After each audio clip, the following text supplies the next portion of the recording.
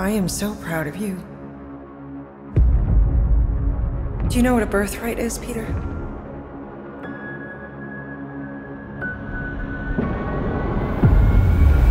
Something that's a part of you. Like your name. Gardeners of the Galaxy? What? No, Rocket. So I let Groot fill out the paperwork.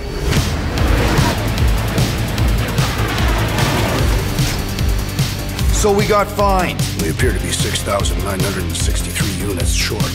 I know, we clearly need a plan. If you see anything with claws the size of Drax, let me know. We got this!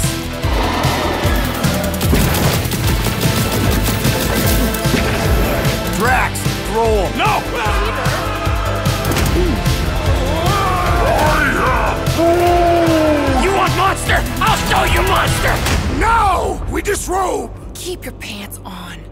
Although, it could be used as a distraction.